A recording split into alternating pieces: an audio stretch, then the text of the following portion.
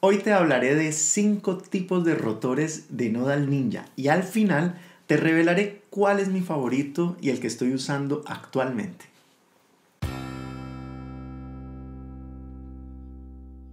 Empezaré por explicarte qué es un rotor. Mira, un rotor es una pieza cuya función consiste en permitir el giro de la cámara suavemente.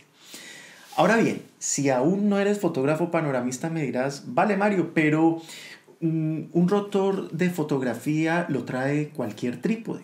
Claro que sí, la mayoría, pero lo que no tiene un trípode normal de fotografía son las detenciones en los intervalos. ¿Y qué es un intervalo? Pues son las divisiones en las que el rotor nos marca un número determinado de grados con un sonidito como un clic. No te imaginas la utilidad que tiene este clic. En realidad nos está señalando dónde tenemos que hacer una foto para ir completando la fotografía panorámica. Si estás recién llegado a esto de la fotografía 360, es decir, si eres un pano baby y no sabes cuántos intervalos necesitas para lograr tu foto 360, te recomiendo ver este video donde te explico con mucho detalle cómo usar la calculadora panorámica. Bien, pues de ahora en adelante a ese clic o intervalo lo seguiremos llamando parada, paso o stop. Y una nota, verás que en toda la documentación sobre panorámicas los intervalos los vas a encontrar precedidos de la letra N. Por ejemplo, N4 significa que tendremos cuatro paradas en una rotación completa de 360 grados. Además del número n, algunos rotores prefieren señalar los grados en que se genera cada parada. Por ejemplo, 90 grados indica que pararemos 4 veces en un giro completo, o 36 grados nos indica 10 paradas, o 15 grados será igual a decir N24, 24 stops y así sucesivamente. Dicho esto, es hora de hablar de la familia de rotores de mi marca preferida, Nodal Ninja. Nodal Ninja tiene un extenso catálogo compuesto por más de 500 referencias. Esto es alucinante, de veras, porque son productos especializados en el nicho de la fotografía panorámica solamente. 500. Y dentro de su catálogo gigantesco, Nodal Ninja tiene una familia de rotores, cada uno con sus ventajas y sus propósitos. Como en esto de la fotografía panorámica llevo ya bastantes añitos, he procurado probar y probar, además porque todos los días recibo preguntas de mis estudiantes sobre qué les recomiendo comprar. Así que empecemos a ver cinco rotores diferentes de Nodal Ninja para que tú escojas el que más te convenga. Empecemos por el que fue mi primer rotor. Se llama el rotor estándar. Es más viejo que Matusalén. El mío cumple 10 años este 2019 y sigue todavía vivo. ¿Ven por qué me gustan estos ninjas? Este rotor tiene un sistema muy ingenioso de paradas que se basa en moneditas perforadas. Por ejemplo, esta tiene 6 perforaciones por un lado y cuando la giras por el otro tiene 8 perforaciones. Esta otra tiene 10 perforaciones por un lado y cuando la giras por el otro tiene 14.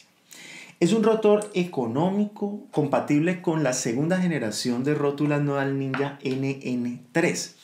Es económico y está muy bien pensado, especialmente creo para quienes tengan un trabajo estandarizado en el número de tomas, que no tengan que estar cambiando a diario el número de paradas, ya que cada vez que se desea variar necesitas desbaratar la rótula, quitar y poner las moneditas. El segundo tipo de rotor que suelo utilizar es uno que tiene la ventaja de ser súper compacto y liviano, además de económico. Mira el tamaño tan chico.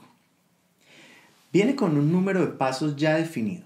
En la web de Nodal Ninja podrás escoger el número que más te convenga de entre 12 opciones. Este, por ejemplo, tiene cuatro paradas y es ideal para el trabajo diario y repetitivo de Google Street View, donde poco hay que pensar, donde hay una estandarización de la toma y donde sería absurdo pagar más dinero por un rotor más costoso y pesado al que nunca se le va a sacar provecho. Si tu flujo de trabajo comprende siempre el mismo número de tomas en cada pano, perfecto, aquí lo tienes. Llévatelo ya. Además, si lo que deseas es ahorrar peso en tu mochila, pues anda. Pero antes de salir como loco a comprarlo, escucha lo que ahora tengo que decirte a continuación. Piensa que si en algún momento quieres cambiar el esquema de las típicas cuatro fotos por uno de seis fotos, ¿qué harías? ¿Tener dos rotores? No, no, no. Cómprate el de 12 pasos. Así es, 12 pasos. A ver, te explico. 12 es un número divisible por 4 y por 6, ¿no? Bueno, pues ahí lo tienes. El rotor de 12 paradas te servirá para parar 4 veces, pero también para parar 6 veces. Es fácil, hombre. Mira, si necesitas hacer una esfera de 4 tomas, paras una vez cada 3 pasos. 4 por 3, 12. Y si necesitas hacer tu esfera 360 con más tomas, por ejemplo con 6, usando el mismo rotor, pararás una vez cada dos pasos. 6 por 2, 12. Que eres un torpe olvidadizo y desconcentrado y que no puedes caminar y mascar chicle al tiempo, olvídalo, no es para ti. Pero te lo advertí, ¿eh? El tercer rotor sí es una verdadera gozada. Es súper especial porque combina dos funciones en una. Es rotor y nivelador al mismo tiempo. Rotor y nivelador. Tiene tres opciones de paradas de 10, 8 y 6 pasos que puedes alternar con solo girar de una perillita. Pero lo mejor es que nos permite nivelar muy, pero muy fácilmente sin tener que fastidiarnos nivelando las patas del trípode. Pero me dirás, Mario, ¿y no habías dicho que nivelar para hacer una panorámica no era necesario? Sí, lo dije hace años en este video y todavía me mantengo en ello. No deberías perder el tiempo nivelando. ¿No habías visto el video? Y a pesar de que no hay que perder tiempo nivelando, hay ocasiones en las que es obligatorio nivelar como cuando haces una panorámica parcial o fija, o cuando haces lotes de fotografías 360 y luego las pegas automáticamente. Sí, automáticamente con la función de Batch Stitcher de PTGui. Y no me digas que no sabías que se pueden pegar las panorámicas automáticamente. Claro, que yo he sido capaz de pegar 50 panorámicas en 15 minutos. En serio, 50 panorámicas en 15 minutos. Es decir, querido párvulo, pásate por mi escuela www.tveo.plus y matricúlate pero ya en el siguiente curso intensivo de PTI. Bien, volviendo a nuestro increíble rotor nivelador, lo encontrarás en el catálogo de Nodal Ninja como RD3L. Qué nombres tan raros estos que se inventan los ninjas, ¿no? A ver, te explico. R significa rotor. D3 quiere decir que tiene tres detenciones o paradas, detent en inglés. Y L significa nivelador o leveler en inglés. RD3L. Ahora mejor. El cuarto rotor de Nodal Ninja está pensado para trabajar con mástiles. Así es, las famosas varas de Nodal Ninja que nos permiten subir la cámara 3, 6 y hasta 9 metros. Estas varas trabajan de lujo con este rotor que está pensado para soportar el peso del mástil y para trabajar muy cerquita del suelo, cerca de la arena, el polvo, la humedad, la nieve. Me imagino que te estarás preguntando dónde demonios se ponen estos rotores. Vale, pues te cuento que yo los uso con otros dos productos de los que te haré una reseña más adelante. Cuando la vara la monto en el trípode, este rotor lo pongo en el adaptador de trípode. Pero cuando la vara la uso sola, me valgo de este pedal al que le instalo el rotor del que estamos hablando. Incluso para las fotografías aéreas 360 que realizo desde helicópteros, este rotor es de una utilidad que ni te digo. Mira esto. Aquí estoy utilizando la vara de Nodal Ninja Pol Serie 1 y por supuesto el rotor del que estamos hablando en un helicóptero en la ciudad de Miami. Si tienes un mástil y no tienes este rotor, te lo recomiendo pero ya. Eso sí, ten en cuenta que este rotor tiene un número fijo de paradas. Y ya sabes que te recomiendo especialmente el de 12 paradas para tener la opción de 4 y 6 intervalos al tiempo. Bien, antes de pasar a contarte cuál es actualmente mi rotor favorito, me gustaría preguntarte algo seriamente. ¿Por qué demonios aún no te has suscrito a mi canal?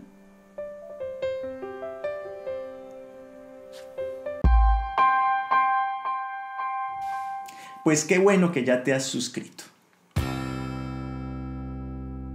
Y el rotor con el que actualmente más trabajo es el D10. ¿Qué significa D10? Pues eso, que tiene 10 opciones de paradas diferentes. No 3, ni 4, ni 5. 10 opciones. Sí, 10.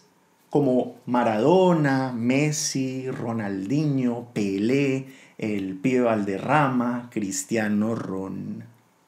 No, tú no. Y me dirás que sí, que no al Ninja tiene un rotor RD16 con 16 opciones. Sí, vale, está muy bien, muy impresionante, pero lo que a mí me gusta de este es que es más liviano y compacto y realmente me ofrece una gama de paradas que cubre casi todas mis necesidades como panoramista. Estos rotores avanzados de Nodal Ninja permiten cambiar en pocos segundos la configuración de paradas con solo apretar una perilla. Yo estoy tan contento con este rotor D10 o RD10 que uno de mis próximos videos será la reseña e instrucciones para este pedazo de metal. Algo importante, cada uno de estos rotores tiene la ventaja de acoplarse perfectamente con todos los productos de la familia de Nodal Ninja. Eso se llama versatilidad. Y te seré honesto, me encanta, porque puedo usar, por ejemplo, este rotor D10 en mi nueva y poderosa Nodal Ninja NN3 de tercera generación.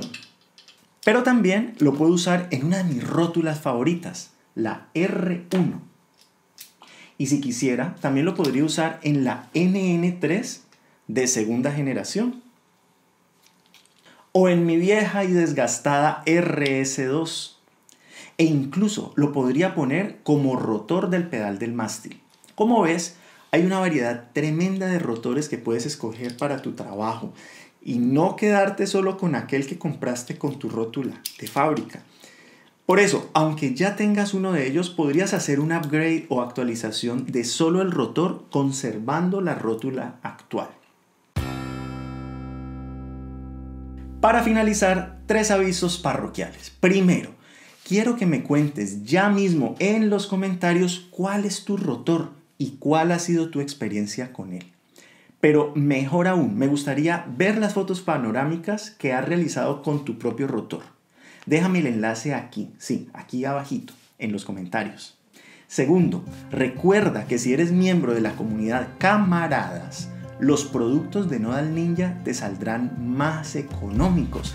Para cualquier rotor de estos de Nodal Ninja puedes obtener el 10% de descuento escribiendo la palabra camaradas con K en el carrito de compras. No solo tendrás una importante rebaja, sino que nos apoyas para continuar realizando videos como este para que puedas aprender mucho del mundo de la fotografía panorámica. Y tercero, déjame en los comentarios ideas de qué temáticas quisieras ver en los próximos videos del canal. Recuerda que haré dos episodios semanales. Bueno, eso es todo por hoy. No te quedes con tus preguntas, hazlas ya mismo en los comentarios. Espero verte por aquí en el próximo episodio, así que te veo pronto, pronto.